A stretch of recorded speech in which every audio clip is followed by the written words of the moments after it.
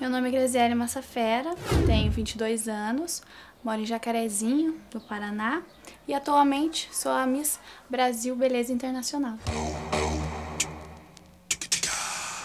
Meu Deus do céu!